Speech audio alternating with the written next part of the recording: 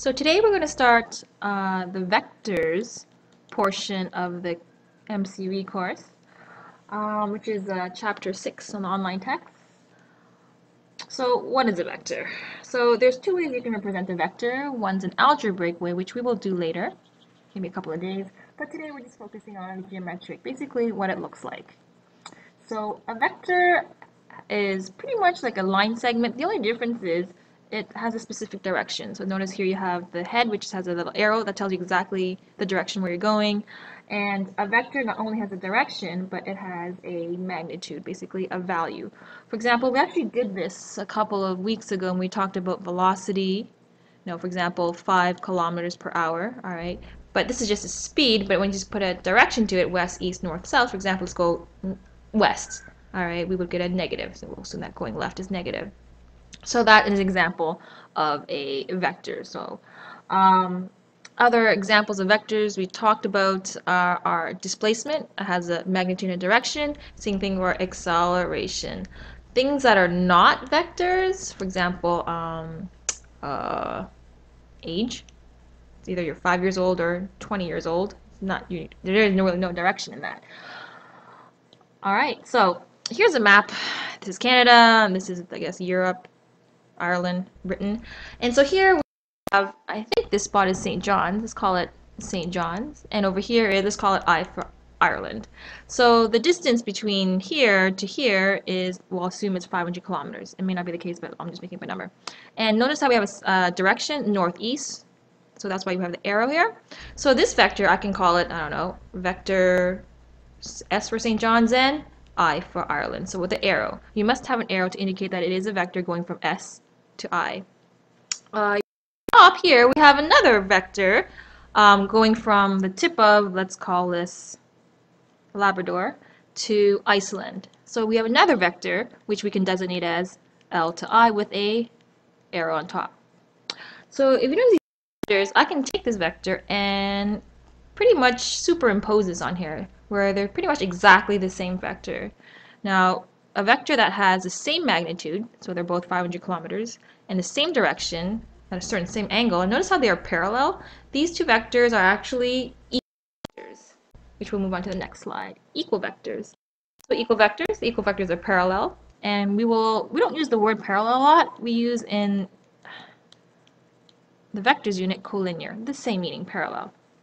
Uh, they must have the same length, so the magnitude of AB has to have the same magnitude of CD, all right? And it has to go in the same direction. The arrows have to point in the same direction. Get these two here. Uh, notice how they have the same magnitude, but they're going in different directions. They're not even parallel.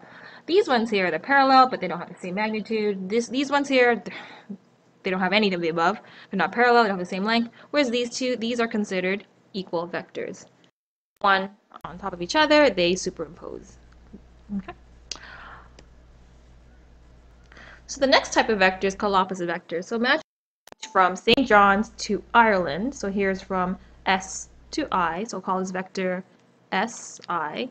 When you make a round trip in the opposite direction, so we start from I to S, I to S. Uh, now, if I wrote this out, this statement is not true because they're not equal. Reason why they're not because they have a different direction. They're parallel, they have the same distance, but notice how one arrow is going in the opposite direction. We call these opposite vectors. Um, now, if you want to make the statement true, all right, this statement is false right now. If it's true, what should we do? Well, one thing we could do is we can take this one here and we can take the reflection. So basically, when you have a negative, you go in the opposite direction. So you just pretty much flip the arrows in the opposite direction. So these two are called vectors.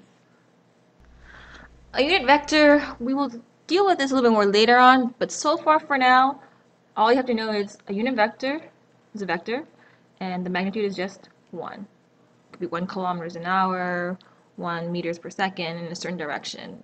For now, we'll just leave it as that. We'll, we'll investigate this more later on throughout the, the course.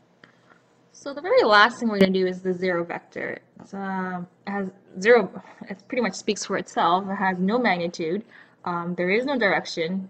And you can't really represent it as a tail to a head. It's just, there is no direction. So that's why we call it zero vector. Uh, where do we see zero vectors? Well, one really common one is, well, not moving at all, zero kilometers an hour, zero meters per second. Um, the next thing I would like for you guys to do is, um, there's a YouTube video which I will post right after this slide, and this YouTube video is very interesting. Um, it's very dramatic. Uh, it's in Japanese. Um, and it is has something to do directly with zero vectors, which we will extend to tomorrow's lesson. Um, what I want you guys to do for homework tonight is to translate or attempt to translate what is the the guy trying to say and how it's relating to vectors. So enjoy.